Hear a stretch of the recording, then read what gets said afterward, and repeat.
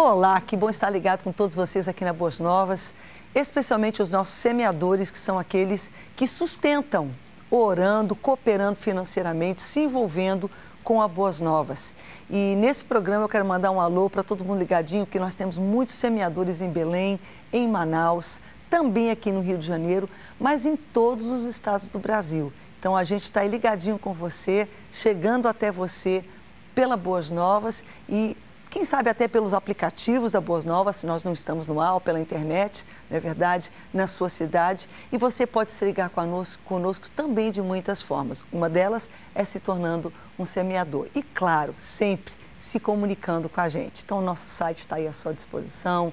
Você pode é, entrar no nosso o Twitter, né? mandar responder ao Twitter, ao Facebook, ao Instagram, enfim. E dessa forma sugerir temas, mandar pedidos de oração, interagir com a gente, que é tudo de bom, tudo que a gente quer, nós estamos aqui para você. E hoje nós vamos debater um tema que trata do trabalho do Conselho Tutelar. Quem são essas pessoas? Como é que elas chegam a esse cargo? Quanto tempo elas ficam? Qual é o papel que elas devem desenvolver?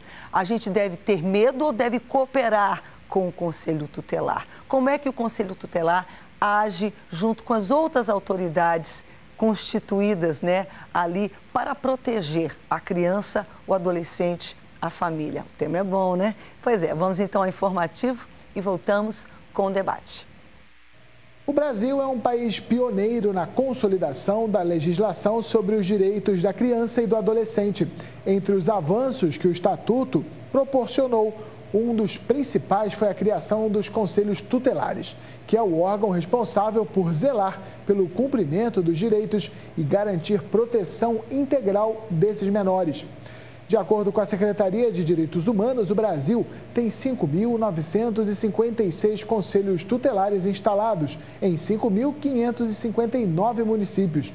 Somente seis municípios não têm conselhos instalados. Segundo a Associação Nacional dos Conselheiros Tutelares, o desafio de cuidar dos direitos dos jovens muitas vezes esbarra nas condições precárias de funcionamento das unidades. O órgão cita que a falta de infraestrutura deixa muitos conselheiros desmotivados. Esse eu creio que é um desafio de todo servidor público, seja ele temporário, como é o caso do, do Conselho Tutelar, ou outros que já são efetivamente concursados e se tornam é, é, ativos ou fixos, mas enfim, de qualquer forma, é, transpondo as dificuldades, especialmente pela causa que se luta que é a proteção da criança e do adolescente, então se prossegue. Uma das coisas que me deixou curiosa, a gente já, já a gente vai colocar, é que independente do número da, do tamanho da cidade, o número de conselheiros tutelares é o mesmo, mas já já a gente vai entender. Primeiro vamos apresentar os nossos é, os nossos debatedores. É muito bom ter aqui Liliane Lobianco, que é psicóloga, conselheira tutelar e presidente da Associação de Conselheiros Tutelares aqui do Rio de Janeiro. Quer dizer, além dela ser conselheira, ela é presidente da Nossa. associação. Liliane, vou pedir licença, doutora Liliane, para lhe chamar de Liliane, ela é psicóloga. Muito bem-vinda, muito bom tê-la aqui. Eu que agradeço, Rebeca. É um prazer sempre estar aqui na, no Cabeça para Cima, porque o programa tem um objetivo muito claro que é de elucidar determinados temas para a sociedade. E assim, eu estou muito feliz de poder estar aqui e contribuir com esse, com esse processo. Eu vejo a mídia de vez em quando mencionando o Conselho Tutelar, mas pouco tratamento elucidando, mostrando, informando sobre esse papel. Então a gente está muito feliz também de receber vocês aqui. E é bom ter também o Célio Luparelli, que é vice-presidente do Conselho Municipal de Direitos da Criança e do Adolescente do Rio de Janeiro, é vereador e vice-presidente da Comissão de Direitos da Criança e do Adolescente da Câmara de Vereadores aqui do Rio de Janeiro. Portanto, temos um vereador do, da, do município do Rio de Janeiro, mas que também está especificamente envolvido nessa questão do Conselho dos Direitos da Criança e do Adolescente. Vereador Sérgio, Célio Luparelli, bem-vindo, muito bom tê-lo aqui. Obrigado, Rebeca. Eu que agradeço essa oportunidade. E acho extremamente importante esse debate, porque nós estamos tratando de uma questão constitucional. Os uhum. artigos 227, 28, 229 da nossa Constituição, está lá previsto que a criança é a prioridade absoluta. Então, o tema é relevante e eu fico muito feliz de participar desse debate. Tá certo. Bem, para quem está ligado com a gente, por mais que de alguma forma muitos tenham ouvido falar, mas não sabem efetivamente o que é o Conselho Tutelar. Então, afinal, o que é o Conselho Tutelar? Não tem jeito, tem que começar por aí.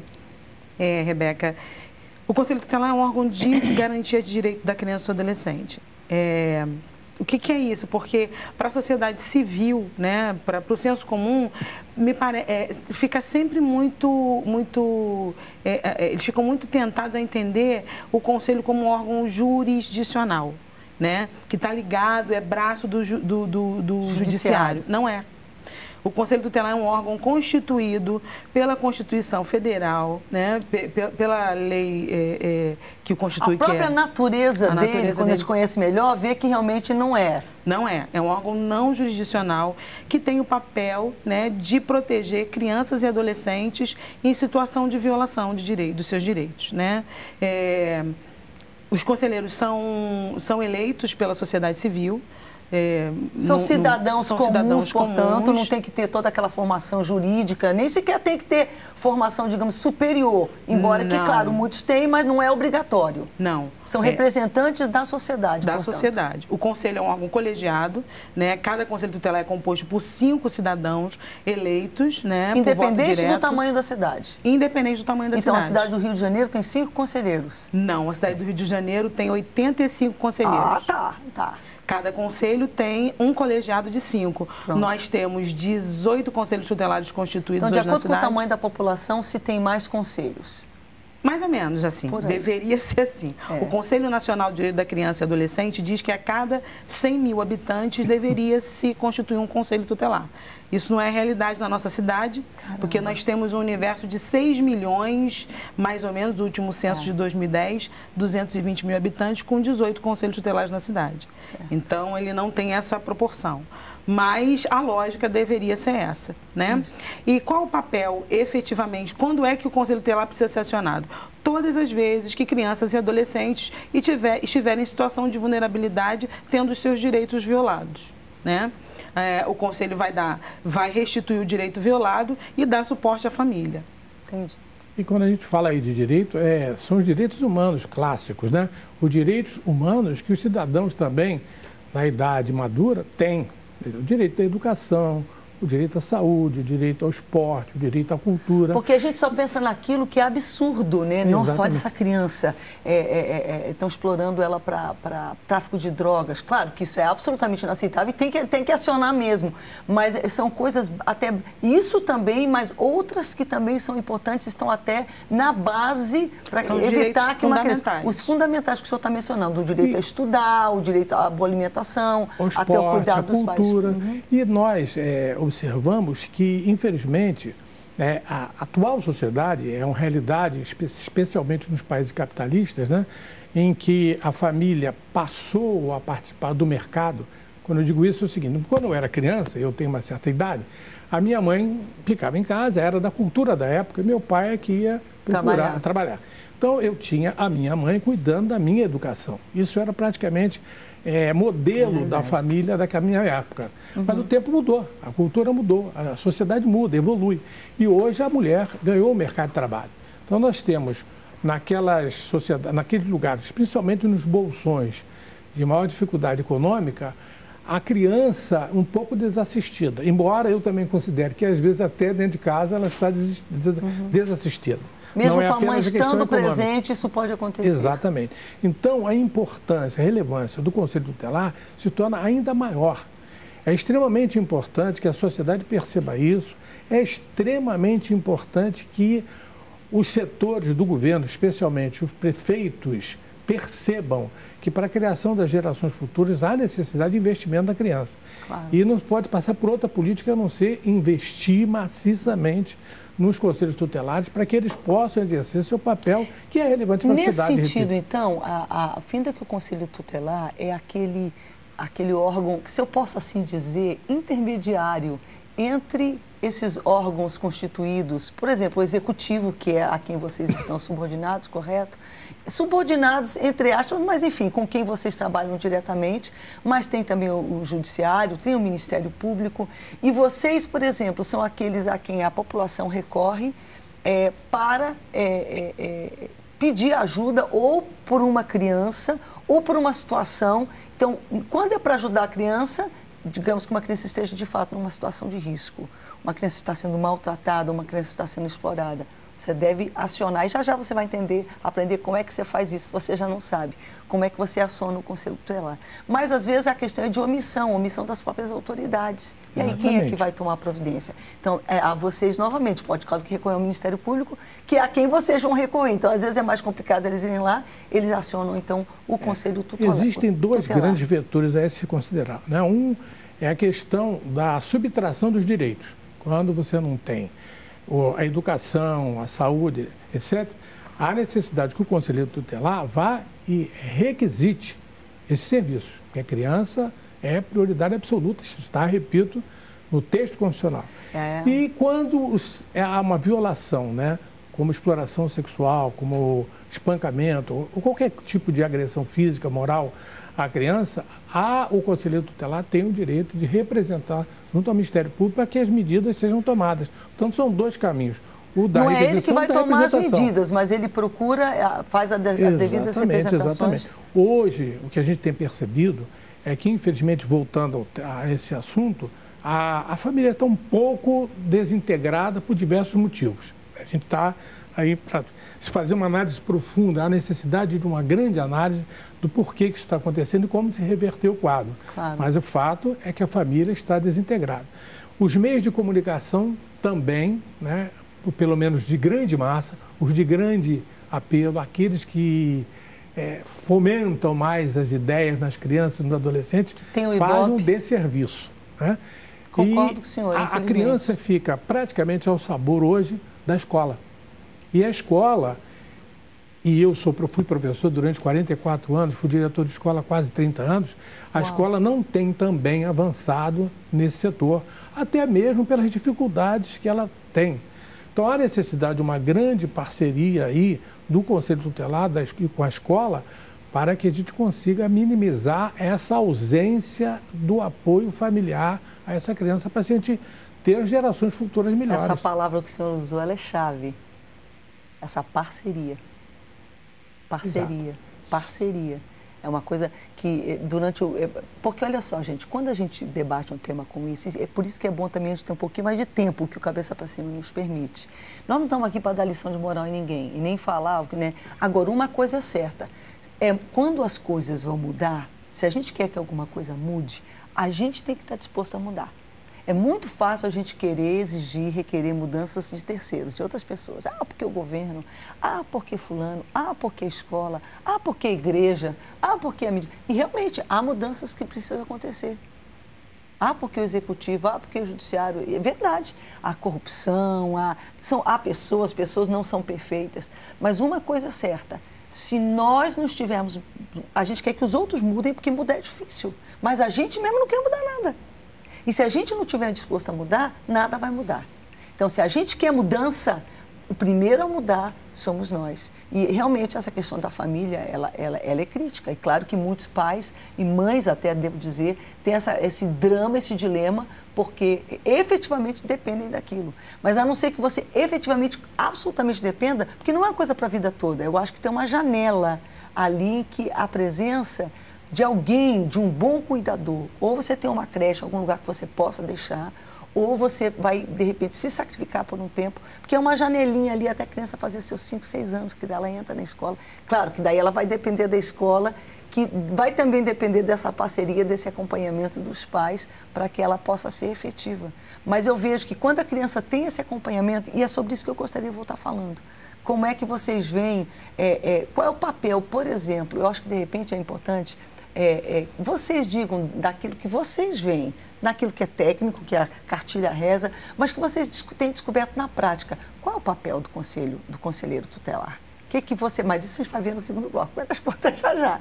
Mas seria interessante também a gente meio que tentar enumerar qual é o papel, por exemplo, da família, qual é o papel da escola, porque cada um de nós, se cada um investido do conhecimento daquilo que é o seu papel e tá, estiver disposto a cooperar, eu acho que devagarzinho, né, a gente pode é, alcançar mudanças. Eu sempre trabalhei muito, mas naquela janela eu, eu, foi um período mais difícil da nossa vida, a gente teve menos. E pode parecer um contrassenso, porque quando a gente tem filho, a gente quer dar tudo. Deu menos, mas deu a presença. Eu fiquei. Claro que nem todo mundo pode, mas foi, foi um período, foi, um, foi uma janela ali que eu, eu tive meus filhos perto um do outro, daí me permitiu isso. E depois, mais tarde, não, quando eles estavam maiorzinhos, começaram a estudar, daí eu, eu voltei de novo com. É outra história, não sei. Mas de repente alguém não está fazendo isso porque ninguém elucidou da importância disso.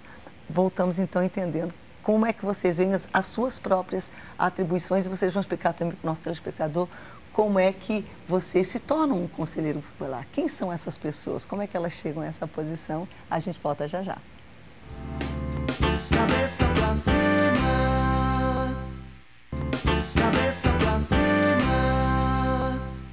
O papo sempre continua aqui, a gente vai entendendo a importância até didática de debater com simplicidade, com repetição, um tema como esse. Verdade. Que aparentemente assim, é um pouco óbvio, mas a que se a gente chega com alguém e fala assim, o que, que, é o papel do Conselho Tutelar? Ah, ah, Entendeu? Então, e, e, e, quando a gente fala do papel, a gente está tocando também no papel da família, no papel do executivo, dos é, políticos, das pessoas que devem, digamos, executar, executar as, as, políticas, políticas públicas, públicas, enfim. Então, a, a, do próprio judiciário, há tantas atribuições da segurança pública, há tantas atribuições, mas a verdade é que para elas funcionarem tem que haver essa, essa parceria, essa cooperação. Sem que um ou outro seja criminalizado. Ah, a família, também na família.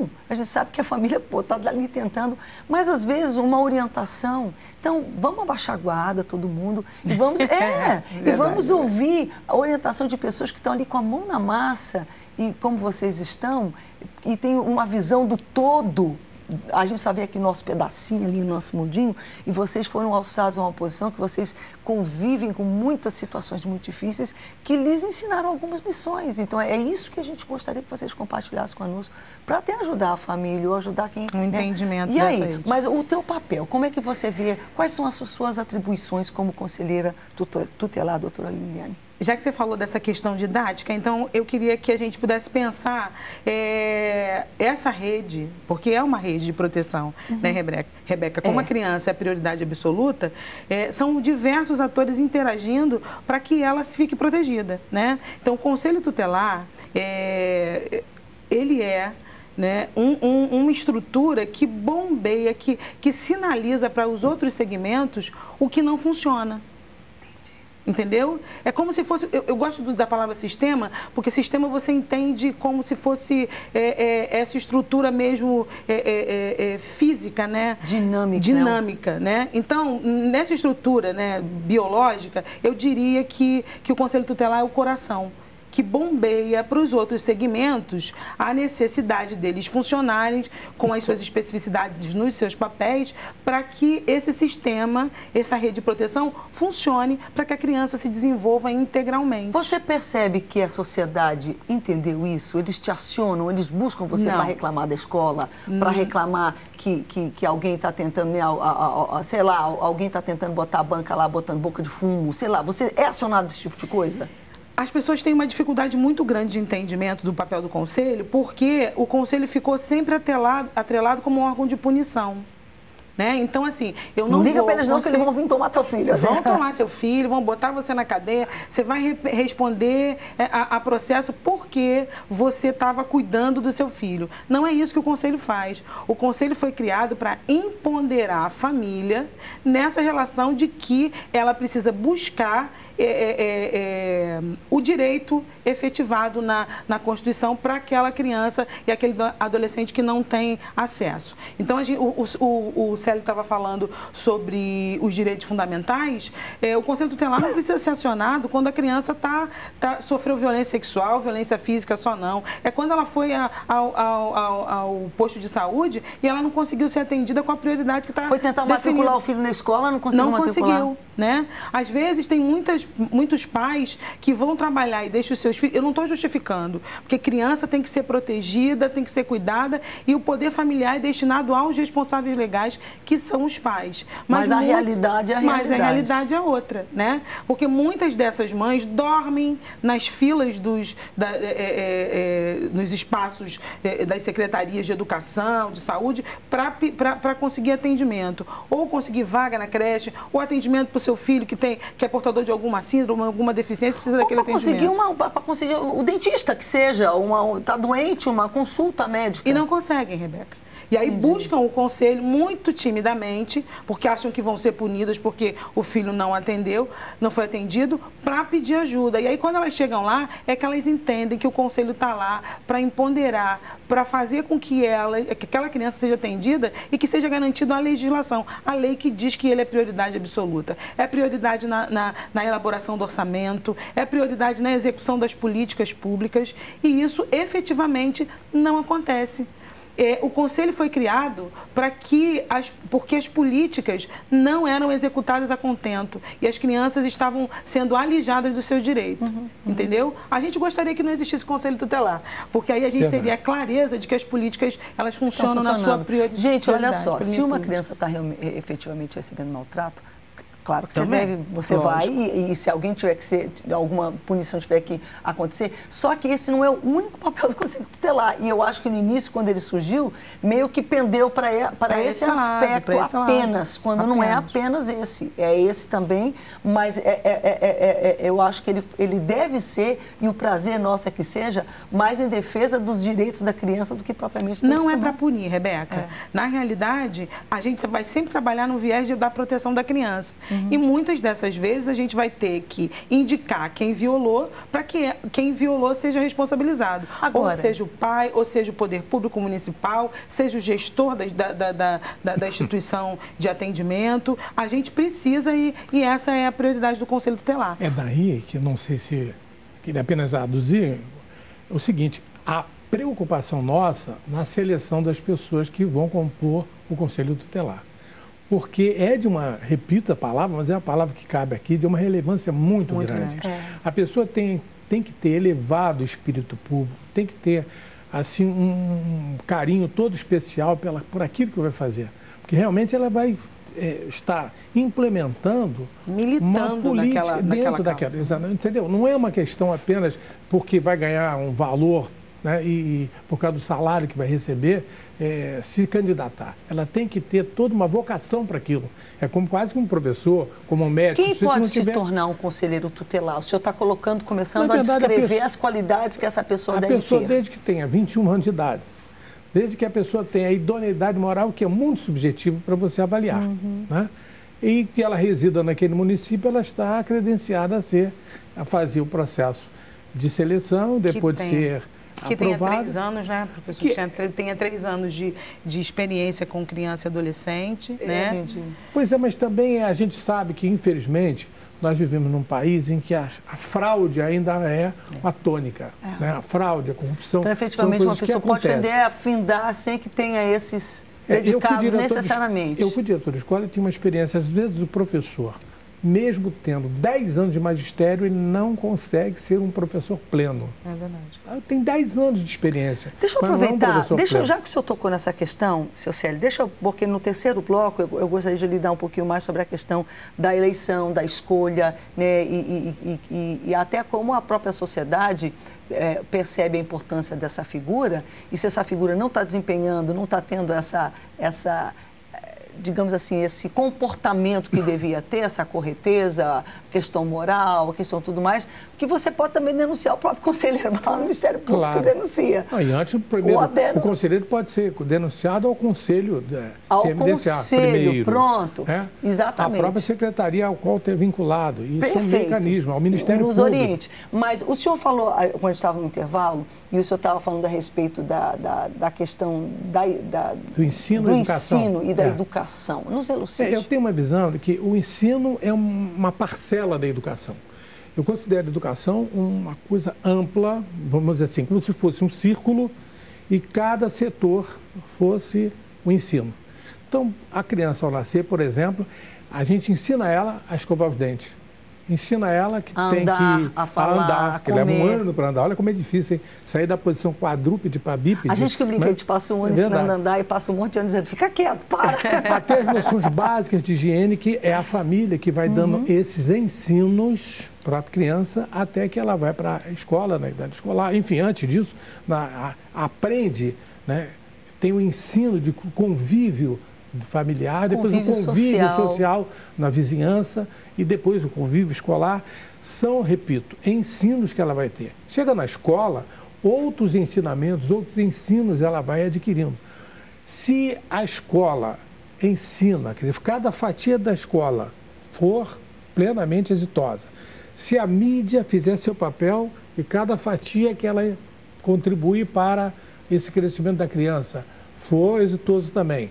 E se a religião, que tem uma parcela A igreja. importante né, em colocar também ensinamentos, ensinos que eu chamo, se todos esses ensinos forem exitosos, nós vamos ter aí sim a- o bolo cidadão pronto. inteiro. O, bro- o bolo pronto Cidadão é a inteiro. educação, o cidadão, cidadão inteiro. Então não é escola, só que a gente costuma falar assim, educação é coisa da escola. Não é da escola, a escola tem parcelas, setores que ela vai ensinar para contribuir para a formação plena do cidadão, que é assim, se nós conseguirmos, vamos ter a educação, senão a educação não foi, ela faliu.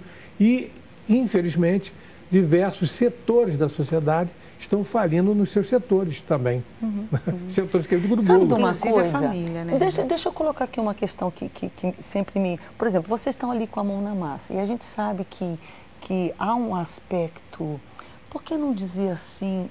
Ele- é um aspecto interior, subjetivo, que ele afeta a pessoa, às vezes até de uma forma inconsciente. Então a pessoa tem aquela opinião de si mesmo, né?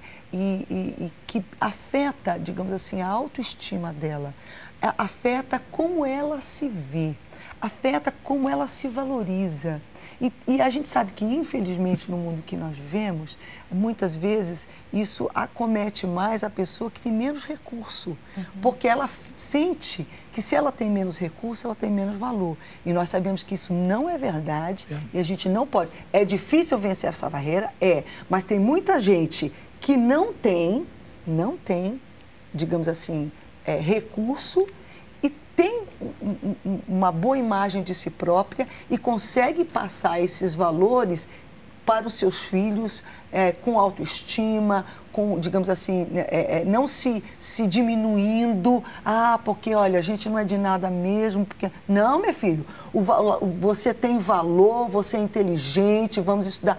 E tem pessoas que têm muito dinheiro, mas têm baixa autoestima.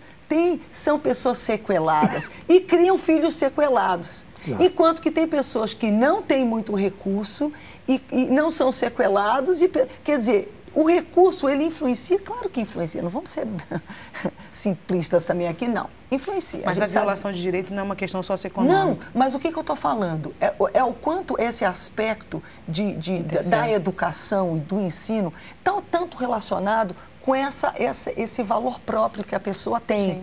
E isso me, me leva a um outro aspecto, que é o aspecto da, da- de fazer ou de omitir. Porque eu vejo que hoje, muitos dos problemas relacionados com crianças são problemas de omissão aquela criança é largada, ela, é- ela é- deixada de lado. E ah, isso é uma coisa Mas muito dentro do seu triste. discurso daí da autoestima, eu queria chamar a atenção, na minha visão, isso vai muito pela maneira pela qual aí a grande mídia fomenta na criança, no adolescente e até em nós adultos. Não adulto, claro que é ele que a vai pessoa ensinar a só é criança. feliz se ela viajar para a Europa, pelo menos uma vez por ano. Está na televisão. A pessoa é só feliz se ela tiver casa própria. Mas isso Onde é que um tá mito, isso é uma isso? mentira. A entendeu? pessoa só é feliz se ela fizer universidade, onde eu conheço vários amigos meus que não estudaram até a universidade e são felizes e criaram seus filhos. Ótimo, seria bom que todo mundo pudesse viajar à Europa toda semana, todo mês, todo ano. Seria bom que todo mundo tivesse a casa própria, mais de uma até. Seria bom que todo mundo estudasse universidade, mais uma pós-graduada. Mas não quer dizer que isso aí seja a única maneira de ser feliz. Mas isso é passado pela grande mídia. Mas deixa eu chegar aqui onde eu queria chegar com a Liliane. Liliane, você já deve ter chegado em tudo quanto é circunstância. Já. Você já deve ter encontrado mulheres lutadoras de todo tipo, de toda estirpe. E muitas delas que, de repente, não, não foram tão bem sucedidas por tantas circunstâncias não estamos culpando elas, e outras, no entanto, que, apesar de tantas circunstâncias difíceis, conseguiram, venceram, estão criando, estão educando os seus filhos, estão ensinando e educando, que às vezes a educação tá, é mais a, a, a, ao cargo da família. O que, que te chama atenção aí? O que, que para você é um diferencial? Por exemplo, eu, eu toquei na questão, por exemplo, da autoestima. Né? É, é, você falou, por exemplo, é, é, é, que o maltrato à criança. Eu digo, não, isso é outro departamento. Uhum. Mas até que onde essa dinâmica de situações elas se, elas, né, se interagem e as coisas desandam. A gente sabe que tem as drogas, tem a violência, tem elementos que às vezes eles se entram e eles se impõem e desestruturam mesmo. Então, por isso que a gente tem que evitar tanto uhum. eles. Mas como é que é isso? Rebeca, Você entendeu é, a, a pergunta, gente, entendi. Né? Na realidade, a gente vem vendo hoje que a família vem caindo num descrédito, né? Essa constituição de família. E os valores éticos e morais são responsáveis é, é, por aquele pai ou aquela mãe, aquele genitor que vai prover, né? Que vai promover é, é a formação, é, é, ajudar na formação do caráter né, da personalidade do, do, do, seu filho. Então é importante para ele saber que o menino e a menina precisam entendê-los, entendê-los como figura de autoridade. Né? Entender que limites são necessários para que ele se estruture como indivíduo, como ser humano, né? E para que ele entenda isso, ele tem que poder ter recebido. Ou ele, ou ele tem, essa visão mais resiliente, ele consiga dar respostas né? É, é, de, de, de experiência que ele não teve que a gente lida com, com pessoas que nunca tiveram, mas que produzem é é, é, é, é, resultados super, super interessantes. Então, para mim, tem a ver com a estrutura de família, de como você, como essa família, ela colhe e, e, e, e, forma esse indivíduo, né? Se possivelmente ele teve a oportunidade de entender a, a relação de, de de maternagem, né? E a relação de, de autoridade, né? E, e, e, ter limites e regras, ele vai conseguir formar essa criança e, é, ou esse adolescente que entende esse mundo com, com, com, com essa complexidade de, de, de ações, entendeu? Uhum. Agora, isso é uma questão que, que, a, gente, que a gente entende é, é, no nosso cotidiano que vem sendo um fator dificultador, né? Pais e mães não sabem como cuidar dos seus filhos, porque também não foram cuidados, não receberam. Né? E a gente vem trabalhando nesses vínculos, na reestruturação dos vínculos familiares. Da valorização. Da valorização família da família. É importante. É o melhor lugar Você dá atenção, cuidar, passar tempo com seus filhos é um, é um elemento diferenciador. E dizer eles que nem sempre é o sim que vai prevalecer. É, é, né? É. Que o não é importante para que ele se constitua como um indivíduo que tenha, que tenha as, as... Eu estou tão empolgada, estouramos só três minutos, mas a culpa é minha. A gente volta já já é, explicando conforme enfim, fechando o programa, mas também tratando de como é que se elege. Então, como é que a comunidade participa na escolha dessas pessoas e, de alguma forma, faz parte, né, fazendo parte, se empoderando também nesse sentido. A gente volta já já. Cabeça pra cima. Cabeça pra cima. Gente, pega fogo aqui no, no, intervalo. É assim mesmo, sempre, porque a gente vê que são questões muito complexas e, e que tem até um caráter subjetivo também, Demais. que é mais difícil da gente de, de debater. Mas o que a gente está afirmando aqui é a importância, sim, de, de pessoas, mesmo diante da adversidade, procurar valorizar a família. E para isso, elas têm que se valer, digamos assim, não se isolar, tem que se valer de uma rede que esteja disponível, que muitas vezes muitos elos dela falham, Falha. mas nesse sentido a gente vê que a fé, a igreja, a família estendida, ou os né, vizinhos, pessoas que você confia, se você consegue encontrar uma boa escola que tem professor, bons diretores, são todos elementos que vão ajudar você nessa formação dessa criança. Temos que reduzir a internet e aumentar a socialização das pessoas. Isso. a relação virtual. Tem que ter um domínio muito grande. A internet é um grande bem, né? É uma é, ferramenta extraordinária. Uma tecnologia. Mas como nós vamos lidar com a internet sem termos a socialização? Porque o que está acontecendo é que nós estamos nos afastando. Às vezes você vê a mesa pai, mãe, duas crianças, dois filhos cada um no mundo, cada Todos um ali num, né, É, num- eu sei, e- eu sei. em mundos diferentes. Eu sei. E na mesma E mesa. eu bati uma foto essa semana, eu botei no meu grupo da, no meu da família, tá? no WhatsApp, toda a família, nós temos N grupos, né? Eu estava no shopping com a minha filha e tinha assim uma, uma um sofazinho assim, tinha uma pessoa sentada. Gente, pela, você via de cara, ali sentado naquele círculo havia pessoas de, de muitos níveis sociais diferentes e de idades diferentes. Tinha um casal bem idoso e eram pessoas simples. Pela roupa deles você via que eram, eram pessoas simples. E tinha um senhor, era bem cabecinha branca mesmo.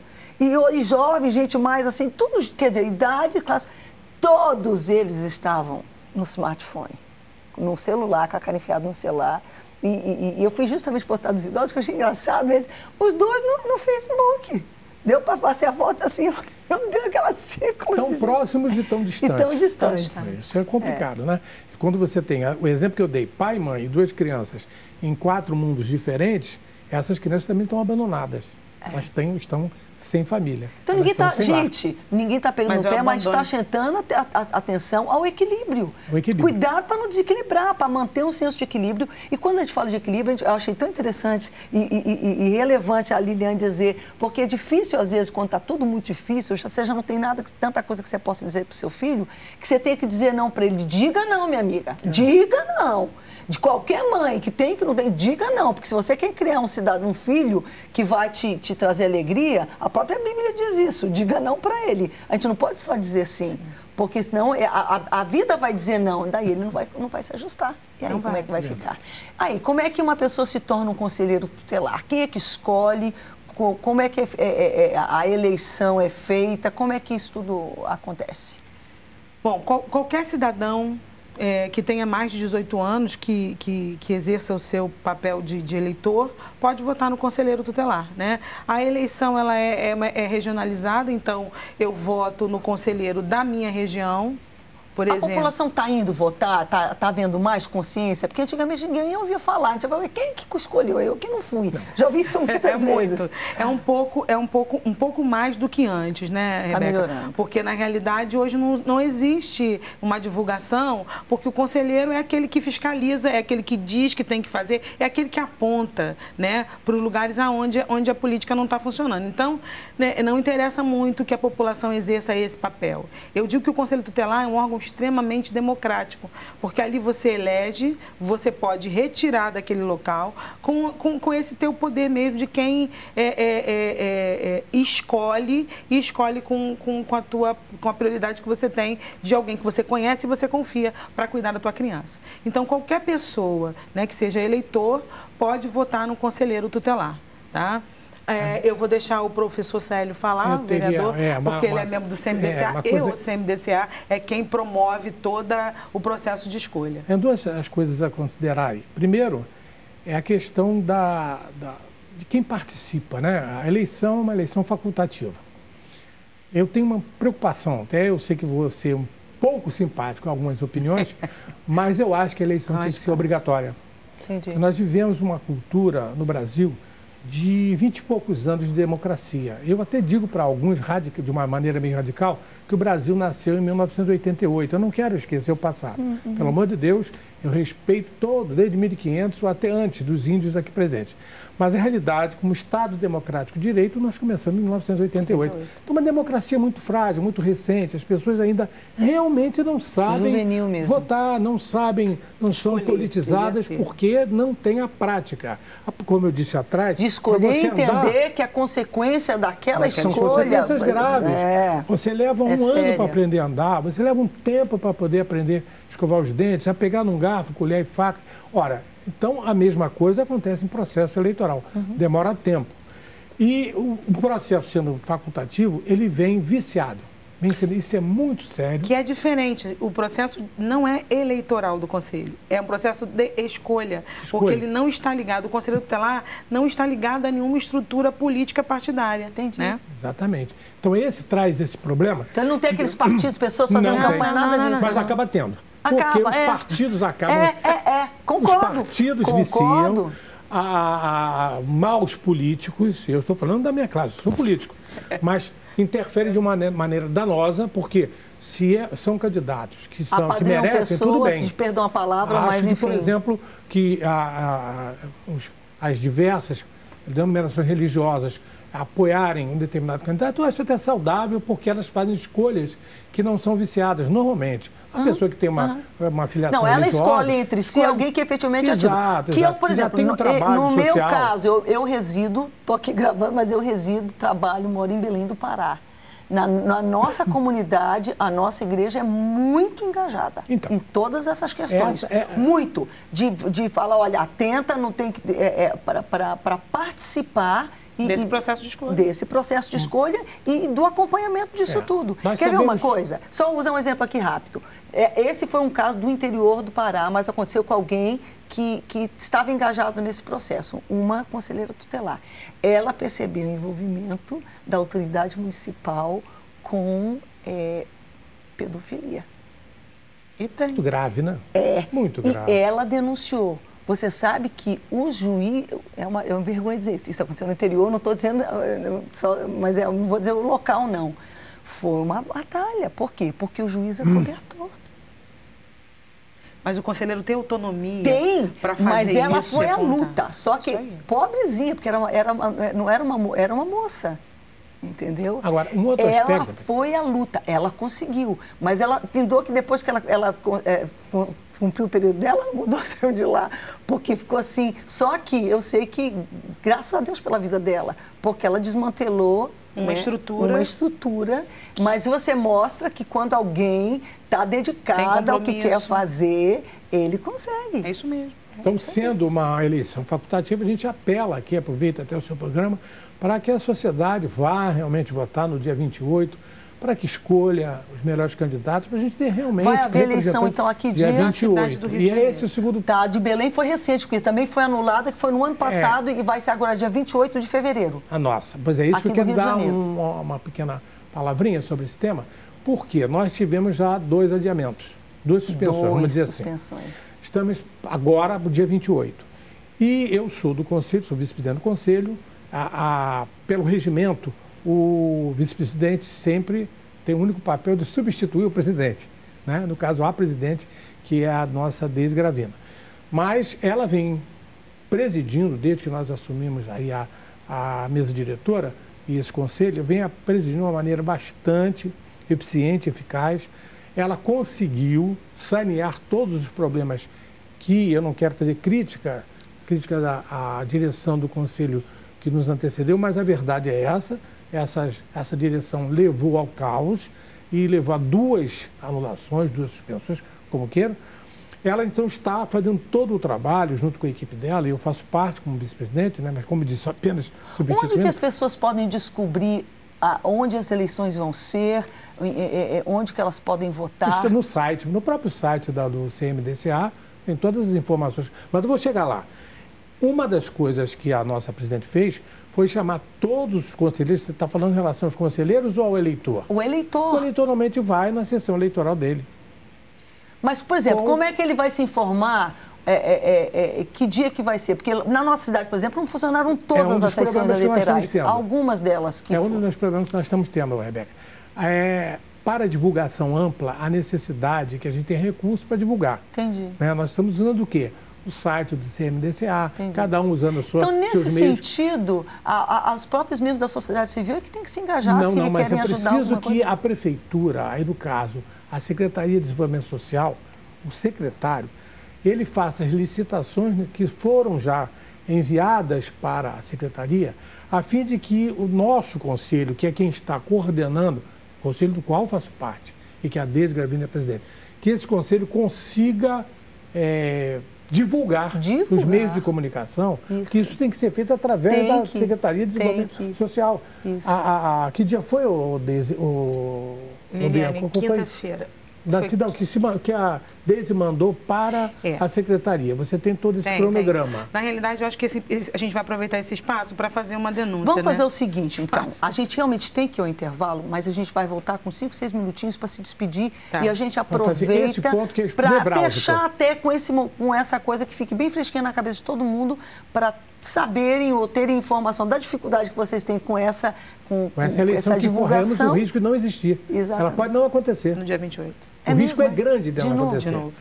Então, nós vamos aqui, a Liliana vai pontear e eu vou fazendo minha, as minhas inserções para esclarecer e, inclusive, chamar gente, a atenção quando a gente tem esse nível de oposição, a gente começa a entender que é um órgão realmente muito importante. Muito importante. Muito importante. e que tem interessado nele não, né? Ou que, que, que se... E, e como é, nós precisamos garantir que as pessoas que estejam lá sejam pessoas idôneas e isentas não colocadas lá né, para defender interesses de, de, grupos, enfim. Rebeca, que o prefeito, o secretário de Desenvolvimento Social tenham sensibilidade para fazer licitações a tempo, a fim de que a eleição não corra o risco de não acontecer. Porque se não acontecer dia 28, não podemos até mais. não ter mais.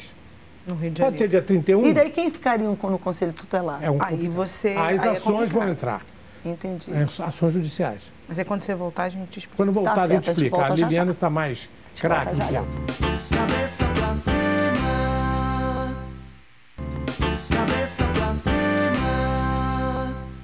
A gente vai encerrando um grande programa, bastante informação, agradecendo ao doutor Célio Luparelli, que é vice-presidente do Conselho Municipal de Direito da Criança e do Adolescente, também vereador do Rio de Janeiro.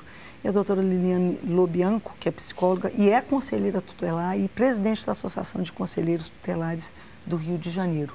Estamos num momento difícil. Muito na cidade. Novamente com essa questão, rapidamente para a gente encerrar. Na realidade, Rebeca, é, a eleição foi proposta, foi proposta, né? houve uma lei que votou a unificação, porque isso não, é, não acontecia antes da, da, eleição no Brasil inteiro.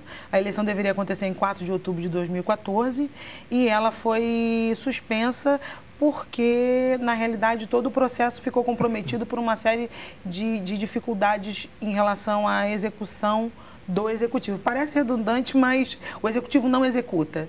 E agora.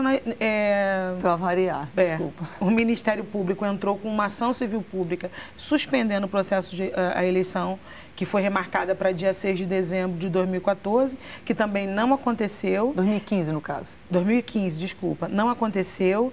E agora a gente tem uma nova data para o dia 28 de fevereiro. Porém, é, o CMDCA ele é um órgão que é, dá direção da eleição, porém ele não, não executa, ele não tem é, poder de, de, de, fazer gestão. Ele do, não tem orçamento. Recurso, ele não tem orçamento. Isso. Então encaminhou desde dezembro para que a eleição hum. pudesse acontecer em fevereiro, é, todo o processo para o executivo. E, o executivo... cada vez que se faz isso, gasta-se todo esse dinheiro novamente para efetivamente, porque monta-se toda uma estrutura e a coisa não, é, não, não acontece. O prefeito da cidade excepcionalizou a verba, porque nós estamos com orçamento fechado, 1 milhão e 600 mil reais, porém excepcionalizou a verba no dia 21 de, no... de janeiro. A eleição é dia 28. Me parece que ainda não contrataram, não, não licitaram a empresa para executar a eleição. E o juiz da Vara da Infância vai, vai fazer uma audiência no dia 22 de fevereiro. A eleição é dia 28 de fevereiro. Se não tiver divulgado na mídia, coisa que não está acontecendo, se não tiver é, a infraestrutura toda, toda toda pronta, possivelmente ele vai suspender a eleição mais uma vez na cidade do Rio de Janeiro. E aí a gente não sabe qual será o destino dos conselhos tutelares das crianças e adolescentes da cidade. Né? E aí a gente consegue ver claramente que esse é o projeto político né, do Executivo Municipal para a infância no Rio de Janeiro. E nós temos o apoio é, do TRE, que disponibilizou as urnas eletrônicas e até, até aquelas urnas de contingência. Nós temos o apoio da OAB para apuração mais célere. Quer dizer, toda a estrutura que, que cabia ao CMDCA foi feito. Agora realmente depende do executivo, do executivo realmente fazer sua parte das licitações. Deus abençoe e boa sorte para vocês. é o que, não é o que a gente deseja, sério. Que, que para nossas para nossas crianças, né? é, é, uma, é uma questão séria e são, são conquistas. Hum. Para mim, o Conselho Tutelar é uma conquista da sociedade, da sociedade civil. civil. Entendeu? De ter seus pares, seus membros ali entre, porque, claro, a, e, e aquelas pessoas estão lá, o judiciário tem o seu papel, a segurança pública tem o seu papel, o executivo tem o seu papel, e mais você ter, um, nesse assunto tão importante, um representante seu que esteja ali perto dizendo, de você, perto de você, para proteger a criança e para também proteger você se o Quer dizer, é muito é importante. É muito importante, Rebeca. É muito importante. A gente está E é importante um que as pessoas que sejam escolhidas, de fato, sejam essas pessoas que saibam lidar com as questões vocacionadas e que sejam realmente público, é, né? é, é, é, moralmente libadas. Enfim, são, são, são questões bem, bem, bem sérias mesmo. Deus ajude, Deus abençoe vocês. Muito obrigada pela presença. Obrigada. Sucesso no trabalho de vocês. E a gente termina, apesar disso tudo, o programa de cabeça para cima com uma canção, com a Sara Alencar.